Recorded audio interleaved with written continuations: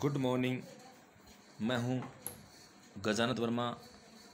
कक्षा बारह के लिए विषय, अनिवार्य हिंदी, पुस्तक, सर्जन, पाठ, पंद्रह, टॉपिक, तोलिए, लेखकार उपेंद्र नाथ अस्क।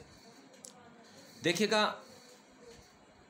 आज से पूर्व पहले वाले टॉपिक में हम पढ़ रहे थे कि मंगला और मधु के बीच में किस प्रकार से, किस प्रकार की बातें हो रही थी अपने आप को बदलने के लिए, सिद्धांतों को बदलने के लिए, जिस प्रकार से मधु ये प्रयास कर रही थी, किंतु फिर भी इस प्रयास के भीतर उनको बहुत बुरा लग रहा था। क्योंकि वह सफ़ाई के सिद्धांत को नहीं छोड़ना चाहती थी। वह चाहती थी, जिस सफ़ाई के रास्ते पर मैं चली हूँ, मेरा परिवार सफ़ाई पसंद करता है, मैं पसंद करती हूँ और मैं ये अच्छी आदत दूसरे लोगों को भी सिखाने का प्रयास करूँगी, दूसरे लोगों को भी सिखाऊँगी। ये उनका प्रयास था। और इस प्रकार से वसंत को भी वो सफ़ाई के बारे में बताना चाहती थी। कि सफ़ाई इंसान के जीवन में होनी चाहिए। उन्हें कई उदाहरण दिए। कुत्ता भी अपनी जगह बैठता है तो दुम हिला कर के बैठता है। लेकिन जिस सफ़ाई को लेकर के मधु और वसंत में चर्चा होती, जिसके कारण दोनों में बहुत ज़्यादा नोक चोक होती थी। और वो गए तो थे। वसंत अपने काम से क्योंकि उनका मैनेजर बीमार था, इसलिए उनको उस स्थान को छोड़ के दिल्ली छोड़ कर के बनारस जाना पड़ा। लेकिन मधु ने महसूस किया कि मुझसे वो नाराज़ होकर चले गए हैं। वो समझते हैं कि मुझसे घृणा करती हूँ, नफ़रत करती हूँ। मैं उनसे स्नेह नहीं करती, मैं प्रेम नहीं करती। ऐसा मधु सोचती है। इस कारण से उन्होंने धीरे धीरे अपने विचारों को, अपने सिद्धांतों को बदलने का प्रयास किया। अचानक तो नहीं, लेकिन धीरे धीरे जो वसंत और उनके बीच में चर्चा होती थी, उनको बदलने का प्रयास करती है। जिस प्रकार से सुरोर चिंती आती तो उन्होंने टेबल कुर्सी पर न बिठा करके सीधे बिस्तर में बिठाया, हाथ पाँव पे नहीं धोने दिया। इसके अलावा चाय नाश्ता भी उन्होंने बिस्तर पर ही करवाया। तो वो चाहती है, जबकि इस प्रक्रिया के कारण मधु को अपनी सहेलियों से भी सुनना पड़ा कि तुम तो कितनी सिद्धांतवादी थी, फिर भी अपने सिद्धांतों को आपने कैसे बदल लिया? ये सारी बातें सुनने के लिए मिली। और उनकी सहेलियों ने, उनकी सखियों ने कहा कि आप अपने आप को इतना कैसे बदल सकती हैं? आप तो बहुत ज़्यादा सफ़ाई का ध्यान रखती थी। जीवन में इंसान को सिद्धांतों के बलबूते पर चलना चाहिए, लेकिन फिर भी उन्हें कहा, इंसान को मध्य का रास्ता अपनाना चाहिए, जिसके कारण सफ़ाई के चक्कर में रिश्ते खराब न हो जाए। और बात सही भी थी, क्योंकि सफ़ाई के चक्कर में इनके आपस में एक तरह से रिश्ते खराब होते जा रहे थे, आपस में टकराव होती जा रही थी, जिसके कारण दिन भर इनमें झगड़ा होता था। इसलिए इन्होंने अपने आप को बदलने के लिए ऐसा किया। उन्होंने सोचा कि किस प्रकार से इस सफ़ाई के चक्कर में मुझसे लड़ करके, छोड़ करके चले गए, किंतु ऐसा नहीं था। वसंत को काम से ही बाहर जाना पड़ा। इसका अर्थ ये नहीं था कि उनसे प्रेम नहीं करते थे। उन्हें पत्र लिखा, समय कम था, इसलिए पत्र में क्या है कि उन्होंने संक्षिप्त भाषा का उपयोग किया। किंतु मधु को ऐसा महसूस हुआ कि जाने के पश्चात उन्हें पत्र भी लिखा तो पत्र में पूरी बातें नहीं लिखी, बल्कि उन्होंने पत्र में बहुत ही कम बातें लिखी है। ऐसी स्थिति में वो मुझसे नाराज़ हैं और इन्हीं बातों को जानने के लिए वो मंगला से प्रश्न कर रही थी। अब देखिए आगे। अब देखिएगा कि इतनी बातें हो रही थी उनको पता लग गया था कि वसंत आने वाला है। दरवाज़ा अचानक खुलता है और वसंत प्रवेश करता है। इससे पूर्व देखिए, आज जो आपको बताया जा रहा है, पार्ट नंबर पाँच। इस पार्ट को पाँच भागों में बांट दिया है। पार्ट पाँच, दरवाज़ा अचानक खुलता है और वसंत प्रवेश करता है। वसंत, हेलो, मधु, क्या हाल चाल है जनाब के? मंगला से। मंगला, तांगे से सामान उतरवाओ। और जेब से पैसे निकालते हुए कहा, और ये लो डेढ़ रुपये तांगे वाले को दे दो। मंगला पैसे लेकर चली जाती है। वसंत फिर मधु के पास आते हुए, कहो भाई, क्या हाल चाल है? ये सूरत कैसे रोनी बना रखी है? जी जी कुछ ख़राब है क्या? जी कुछ ख़राब है क्या? उन्होंने कहा भाई, तुम्हारी जो सूरत है, रोनी जैसी बनी हुई है और तुम्हारा स्वास्थ्य तो ठीक है क्या? तुम्हारा जी तो ख़राब नहीं हो रहा? इस तरह से क्या है कि? वसंत ने आकर के मधु से कहा। मधु ने कहा जो इस बीच पलंग से उतर आई है, हंसने का प्रयास करते हुए अर्थात वो पलंग पर लेटी हुई थी और ऐसी स्थिति में पलंग से उतरने का प्रयास करती है और मधु ने कहा सूखा जाड़ा पड़ रहा है। जुकाम है मुझे तीन चार दिन से। उन्होंने कहा, बहुत ज़्यादा सर्दी है और तीन चार दिन से मुझे जुकाम भी है। उन्होंने वसंत से कहा कि, बहुत ज़्यादा सर्दी पड़े सूखा जाड़ा पड़ रहा है और तीन चार दिन से मुझे जुकाम है। इसलिए बिस्तर पर लेटी हूँ और मेरे चेहरे पे जो आपको एक मतलब मासूमियत, चेहरे पर ऐसे मतलब खुशहाली नज़र नहीं आ रही है। वसन का मैंने तुम्हें कितनी बार कहा है कि अपने स्वास्थ्य का ध्यान रखा करो। सेहत सेहत सेहत। दुनिया में जो कुछ है, सेहत है। अर्थात इंसान को अपने स्वास्थ्य के बारे में ध्यान रखना चाहिए। सबसे बड़ी चीज़ होती है सेहत। और आपको सेहत का ध्यान रखना चाहिए। वो कहना चाहते हैं कि तुम अपने सेहत का ध्यान नहीं रखती। जीवन में तुम्हारी ये सफ़ाई और सुगढ़ता, ये नज़ाकतें इतना काम नहीं देगी जितना सेहत। वो कहना चाहते हैं कि आप सफ़ाई पे ध्यान देती हैं, सुगढ़ता अपने आप को सुंदर बनाने के लिए, नज़ाकतें, सुकोमलता आप दिखाती हैं, ये जीवन में इतना काम नहीं देती जितना सेहत। क्योंकि ये दिखने में बाहर की सुंदरता है, लेकिन सेहत तो अंदर से है। उनका कहना यह था कि जिस प्रकार से पेड़ की जड़ में अगर पानी डालेंगे तो उसको ज़्यादा चमकाने की आवश्यकता नहीं है, क्योंकि पेड़ अपने आप स्वस्थ नज़र आएगा। लेकिन वही पानी हम पत्तियों पर, डालियों पर इस तरह से डालेंगे तो पेड़ का कोई मतलब नहीं है। अर्थात उनकी जड़ में पानी डालो। ये कहना चाहते हैं कि मनुष्य को सबसे पहले अपनी सेहत का ध्यान रखना चाहिए। यदि यही ठीक नहीं रहती तो ये सब किस काम की? और अगर ठीक है तो फिर इनकी कोई ज़रूरत नहीं सबसे बड़ी चीज़ है कि इंसान स्वास्थ्य का ध्यान रखे, सेहत का ध्यान रखे तो बाहरी तड़क भड़क से कोई मतलब नहीं है।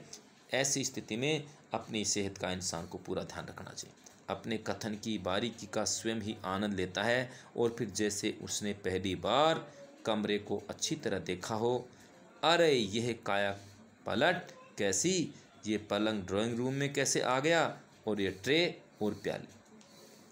कहने का मतलब जिस ड्राइंग रूम को छोड़ कर के गए थे, उन्होंने उस व्यवस्था को, मधु ने उनके जाने के पश्चात पूरी को बदल डाली कि किसी भी प्रकार वसंत को किसी तरह की तकलीफ़ नहीं हो, और उनके जाने के पश्चात जिस प्रकार से जो जीवन यापन वसंत करता था, ठीक उसी प्रकार से अपने आप को बदलने का प्रयास भी उन्होंने कहा। और इस व्यवस्था से, जो व्यवस्था जाने के पश्चात उन्होंने आकर के देखी है, बसंत उस व्यवस्था से बहुत खुश होता है। और उन्होंने कहा, मधु से कहा, मैंने पलंग इधर ही बिछा दिया है कि आप और आपके मित्र को जरा भी कष्ट न हो। मज़े से लिहाब लेकर बैठिए, टेलीफोन आपके सिराने रहेगा। आप अपने दोस्तों के साथ में रजाई में बैठ सकेंगे। और अगर आप बात करेंगे तो टेलीफोन आपके सिराने रहेगा। आपके पास ही रहेगा। वसंत ने उल्लास से, आनंद से, खुशी से कहा, वाह, मैं कहता हूँ तुम तो तुम तो बेहद अच्छी हो, अर्थात आप बहुत अच्छी हो। आपने आखिर मेरे सिद्धांतों को, मेरे विचारों को समझ लिया है, सीख लिया है, इसलिए आप बहुत अच्छे हो। मधु ने कहा, मैं स्वयं अपनी सहेलियों के साथ इसी लिहाफ में बैठी रही हूँ। उन्होंने कहा कि, मैं आपकी बात नहीं करती, आपके जाने के बाद मेरी सहेलियाँ जब आई है तो इसी रजाई, अर्थात कंबल के अंदर, हम एक साथ बैठ करके आनंद लिया है हमने। तो वसंत ने आश्चर्य मिश्रित उल्लास से अचंभे भरे प्रसन्नता से उन्हें कहा, सच? मधु ने फिर कहा, उसकी ओर प्रशंसा की इच्छुक प्यार भरी दृष्टि से देखते हुए, और चाय भी हमने यहीं पी है। तो वसंत बहुत प्रसन्न हो जाता है और खुशी से कहा, वाह वाह मैं कहता हूँ, तुम जीवन का रहस्य समझ पाई हो। जीवन का भेद बाह्य तड़क भड़क में नहीं, अंतर की दृढ़ता में। अंतर की दृढ़ता मतलब जीवन का जो रहस्य अंदर की है, अंदर इंसान के अंदर आत्मीयता होनी चाहिए, प्रेम होनी चाहिए, बाहर तो तड़क भड़क दिखा दी, लेकिन अंदर प्रेम ही नहीं है, वो किस काम का? यदि यदि हमारी प्रतिरोध शक्ति, हमारी पावर ऑफ़ रेजिस्टेंस कायम है। मधु ने कहा, चाय भी अब आप ही यहीं पिया कीजिएगा अपने नरम नरम बिस्तर पर। मधु ने वसंत से कहा कि आप चाय पीते हैं, आपको चाय पीने के लिए टेबल कुर्सी पे जाने की आवश्यकता नहीं है, बल्कि आप अपने इस नरम नरम बिस्तर पर चाय पानी पी सकते हैं, नाश्ता कर सकते हैं। वसंत ने अत्यधिक उल्लास से, अत्यधिक प्रसन्नता से कहा, वाह वाह अब इसी बात पर तुम मंगला से कहो कि मेरे लिए चाय का पानी रखे कि मैं बहुत खुश हो गया और इसी बात पे मैं तुम्हें कहना चाहता हूँ कि इसी बात से कहो मंगला को कि मेरे लिए चाय का पानी रखे अर्थात आप मुझे गरम गरम चाय बना के दें। मधु ने अब तो आप नाराज़ नहीं हैं? वसंत का आश्चर्य से, नाराज़? मधु, आप इतने दिनों तक मन में गुस्सा रख सकते हैं। ये मैंने स्वप्न में नहीं सोचा था कि आप अपने मन में इतना गुस्सा रखते हैं कि जाने के बाद आपने पत्र तक नहीं लिखा, पत्र नहीं लिखा। और आज मुझे पता चला कि आप गुस्सा भी रखते हैं। आप मेरे बारे में नहीं सोच सकते। मुझे आज पता चला, मैं तो इसके बारे में सपने में भी नहीं सोच सकती। वसंत, और भी आश्चर्य से, गुस्सा? मधुन का दो महीने से आपने ढंग से पत्र तक नहीं लिखा। दो महीने हो गए आपने मुझे ढंग से पत्र तक नहीं लिखा, वसन पर मैंने, मधु ने फिर उस बात को प्रकट करते हुए पत्र लिखते थे, जी, मैं कुशल हूँ, कुशल से हूँ, अपनी कुशलता का पता देना। इससे पत्र लिखना कहें, कहते होंगे, वसंत, ज़ोर से कह का लगा, लगाता है, ज़ोर से हंसता है। तो तुम इसका कारण ये समझती हो कि मैं तुमसे नाराज़ हूँ। अर्थात मैंने पत्र में ज़्यादा बातें नहीं लिखी तो आप इसका अंदाज़ा ये लगा रहे हैं कि मैं तुमसे नाराज़ हूँ, मैं तुमसे खुश नहीं हूँ, पगली। तुमसे भी कोई कभी नाराज़ हो सकता है। मधु, पर दो पंक्तियाँ। मधु ने कहा आपने तो मात्र दो पंक्तियाँ लिखी है। तो बस ने कहा, दो पंक्तियाँ? लिखने का भी अवकाश मिल गया तो तुम इसी को बहुत समझो। अर्थात मैंने दो पंक्तियाँ भी लिखी तो बहुत है, क्योंकि मेरे पास में वक्त नहीं मधु ने कहा अच्छा आप जाकर हाथ मुँह धो लीजिए। मैं चाय तैयार करती हूँ। वसंत का मैं कहता हूँ, तुम कितनी तुम कितनी तुम कितनी अच्छी हो। मधु अपनी बातों को सुनकर के, प्रेम भरी बातों को सुनकर के मधु मुस्कुराते हुए कहती है अच्छा अच्छा चलिए, पहले हाथ मुँह धोकर कपड़े बदलिए। वसंत ने फिर कहा, ये फिर तुमने कपड़े बदलने की पख लगाई, अर्थात फिर तुमने कपड़े बदलने की बात कर दी? तो मधु ने ज़ोर देकर कहा, क्यों कपड़े ने बदलिएगा? एक रात और एक दिन गाड़ी में सफ़र करके आए हो। मार की धूल सारे शरीर पर पड़ी हुई है। चलिए चलिए, जल्दी हाथ मुँह धोकर के कपड़े बदलिए। मैं इतने में चाय तैयार करती हूँ।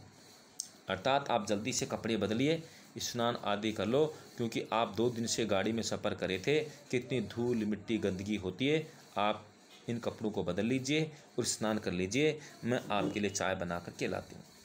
वसंत को स्नान घर के दरवाजे की ओर धकेल देती है कि जाओ आप, स्नान करके आओ और कपड़े बदलो। और नौकरानी को आवाज़ देती है, मंगला मंगला। मंगला उनकी नौकरानी थी। मंगला दूसरे कमरे के दरवाजे से झांकती है। जी बीबी जी मधु का सामान रखवा लिया या नहीं? मंगला ने कहा, जी बीबी जी, अर्थात बाहर जो वसंत आए थे ना जिस तांगे में बैठ कर तो कहा, सामान रखवा दिया क्या? जी, बीबी जी मधु ने कहा, ये ट्रे और प्यालियाँ उठा, पानी तो चाय का ठंडा हो गया होगा। बाबूजी इधर, उधर हाथ मुँह धोने गए हैं। मैं और पानी रखती हूँ। इतने में ये पानी फेंक कर चायदानी और प्यालियाँ अच्छी तरह धो डाल। मंगला ट्रे आदि उठाकर जाती है। एक चमचा गिर जाता है। वो जाती है तो एक चमचा उनके हाथ से नीचे गिर जाता है और ज़ोर से आवाज़ होती है। तो उस पर क्या कि तीखे स्वर में मधुनी आवाज़ दी। कुछ तीखे स्वर में ये चमचा फिर फर्श पे गिरा दिया तूने। बीस बार कहा है कि चमचा न गिरा कर फर्श पर चिप चिप होने लगती है। अब ट्रे बाहर रख कर इस जगह को गीले कपड़े से धो डाल। वसंत ने कहा स्नानघर से अरे भाई, साबुन कहाँ है? अर्थात वो बीच में इतने दिन से नहीं थे, उनको साबुन नहीं मिल रहा था। मधु ने कहा ध्यान से देखिए, वहीं तख्ती पर पड़ा है। वसंत ने कहा, वहीं से? और तोलिया, मधु, हाथ मुँह धोआइए और इधर कमरे में सूखा नया तोलिया लेकर पहुँच लीजिए। मंगला कपड़े का टुकड़ा भिगो कर लाती है और चुपचाप फर्श साफ़ करने लगती है। तू तू फर्श साफ़ करके चायदानी और प्यालियाँ धो डाल और मैं पानी रखती हूँ चाय का। रसोई दरवाजे से चली जाती है और कुछ क्षण तक मंगला चुपचाप फर्श साफ़ किए जाती है। फिर वसंत हाथ मुँह धोकर के कुर्ते की आस्तीन चढ़ाए गुनगुनाता होता है। अर्थात वो स्नानघर में जाता है, हाथ पैर धो लेता है और कुर्ते की आस्तीन बाजू चढ़ा लेता है और गुनगुनाता हुआ गाना गाता हुआ आता है। हिंडोला कैसे झूलू मेरा जिया डोले रे मैं झूला कैसे झूलू मेरा जिया डोले रे हिंडोला कैसे झूलू मेरा जिया डोले रे मैं झूला कैसे झूलू मेरा जिया डोला रे हिंडोला किसको बोलते झूले पे बैठ कर झूलना कि मेरा दिल कर रहा है कि झूले पर बैठ करके मैं झूलूँ। इस तरह से वो बाथरूम से बाहर निकलता है। तो वो गाने गाने लगता है और फिर उसके पश्चात उसको तोले की आवश्यकता पड़ती है और अपने ध्यान में मग्न कुर्सी की पीठ पर पड़े उस तोले से मुँह पहुँचने लगता है, जिससे सुर और चिंती हाथ मुँह पहुँच कर गई है। कहने का मतलब वो अपने गाने में व्यस्त हो जाता है, उन्होंने देखा नहीं, वहाँ सुर और चिंती कुछ समय पहले आई थी, चाय नाश्ता करके, वो हाथ मुँह पहुँच करके चली गई थी और तोलिया उन्होंने टेबल या कुर्सी पर रख दिया वो अंदर से बाथरूम से आया और उन्होंने उससे मुँह पहुँच लिया। मुँह पहुँचने लगे। इतनी देर में क्या कि मधु का ध्यान उधर जाता है और फिर उन्हें डांटना चालू कर दिया। और अपने ध्यान में मगन कुर्सी की पीठ पर पड़े उस तोले से मुँह पहुँचने लगता है, जिससे सुरोर चिंती हाथ मुँह पहुँच कर गई हैं। मधु, रसोई खाने से, ये केतली कैसी बना रखी है? मनो तो मैल जमा कर रखे हैं पेंदे में। अर्थात वो मंगला को डांटती हुई कहते रहे, कैसी केतली बना रखी है? इसमें दुनिया भर का कचरा जमा है। मैल जमा है, इसको साफ़ क्यों नहीं करती? केतली हाथ में लिए आ जाती है। तुझे कभी बर्तन ने साफ़ करने आए मंगला? और तू यहाँ इतने दिनों के रहते हुए तुम्हें ढंग से बर्तन भी साफ़ करने नहीं आए। इस तरह से क्या है कि मंगला को मधु डांट रहे कितनी बार का है कि सफ़ाई का अचानक वसंत को सुरों वाले तोले से मुँह पहुँचते देखकर लगभग चीते हुए।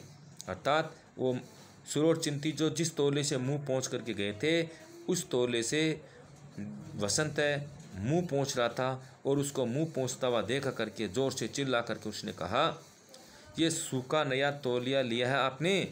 अरे भाई, आप बाथरूम में से आए तो आपको सूखा नया तोलिया लेना चाहिए था। आपने सूखा नया तोलिया लिया है। मैं पूछती हूँ आप सूखे और गीले का तोले में भी तमीज़ नहीं कर सकते। भाई, जैसे आप कुर्सी पे जो तोलिया पड़ा है, ये पहले से गीला था या आपके द्वारा गीला हुआ है, इसमें गीले और सूखे का अंतर आप नहीं कर सकते। अभी तो सुरोर चिंती चाय पीकर इस तोले से हाथ पहुँच कर गई हैं। अभी अभी सुरोर चिंती आई थी और इससे सुरोर चिंती चाय पानी पीने के पश्चात हाथ मुँह हाथ और मुँह पहुँच करके गई हैं। वसंत, घबराहट, परंतु नया अर्थात तो नया दिख रहा है। मधु ने कहा, नया तोलिया उधर कमरे में टका है। वसंत ने कहा, ओ, ये कम पकत तोलिया, मुझे ध्यान ही नहीं रहता। वास्तव में दोनों तोले साफ़ हैं मुझे। मुझे ऐसा लगा कि तोले तो साफ़ ही हैं। मधु, जी साफ़ हैं। ज़रा आँख खोल कर देखिए, गीले और सूखे। अर्थात, मधु के कहने का भाव अर्थ है कि आप गीले और सूखे में फ़र्क नहीं कर सकते। जैसे ही तोलिया आपने लिया तो कम से कम आपको ये तो अवश्य देखना चाहिए था कि तौलिया गीला है। इस तौलिया गीला है तो मुझे पूछना चाहिए था कि तौलिया गीला कैसे हुआ तो सच्चाई का पता लग जाता।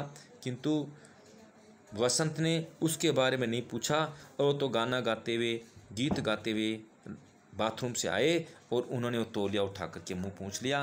और पहुँचने के बाद, जैसे उसने पहुँच पहुँचते हुए देखा, मधु ने देख लिया, मधु ने डांटना चालू कर वसंत ने कहा, मैंने ऐनक उतार रखी है और ऐनक के बिना तुम जानती हो, हमारी दुनिया खिसकियानी हंसता है। और बहाना बनाते हुए कहा कि, मैंने ऐनक उतार रखी है और तुम तो जानती हो, ऐनक के बिना मुझे कुछ दिखाई नहीं देता। मधु, जी, आपकी दुनिया न जाने, जी, आपकी दुनिया जाने आप किस दुनिया में रहते हैं। अब तो ऐनक नहीं, ऐनक हो तो कौन सा आपको कुछ दिखाई देता है? उन्होंने कहा कि मैंने ऐनक उतार रखी है, अभी मैंने ऐनक नहीं पहन रखी, ऐसी स्थिति में मुझे दिखाई नहीं देता। तो मधु ने कहा, अरे आपके, आप जब ऐनक पहन रखे हैं, तब आपको कौन सा दिखाई देता है? वसंत, ये सुनने में तुमने फिर मुँह लटका लिया। नाराज़, आपको कुछ दिखाई देता है? मुँह फुलाकर धम से कोच में धस जाती अंदर चली जाती वसंत ने फिर कहा, ये तुमने फिर मुँह लटका लिया। नाराज़ हो गए क्या? मधु व्यंग से हंसकर, नहीं, मैं नाराज़ नहीं। वसंत ने चिल्लाकर कहा, तुम्हारा ख्याल है, मैं इतना मूर्ख हूँ। ये नहीं पहचान सकता, पर्दा गिरता है। इस प्रकार से ये पाठ संपन्न की ओर जाता है। कहने का मतलब कि मैं इतना मूर्ख हूँ, पहचानता नहीं। वो क्या है कि थोड़े लापरवाह थे। वसंत थोड़ा लापरवाह था, इन चीज़ों को बारीकी से नहीं देखता। मधु इन बातों पे बहुत ज़्यादा गहरा ध्यान रखती थी, जिसके कारण भूल से को गलती नहीं हो। अगर उनसे थोड़ी सी भी भूल से गलती हो जाती तो मधु उसको डांटने का प्रयास करती थी। वो अपने जीवन में सफ़ाई बहुत पसंद करती थी। वो मान भी रही थी कि मैं इनको कुछ बोलूँ नहीं, किंतु फिर भी क्या है कि थोड़ी सी गलती करने पर मधु ने उनको डांटने का प्रयास किया। आज ये पाठ आपका संपन्न होता है।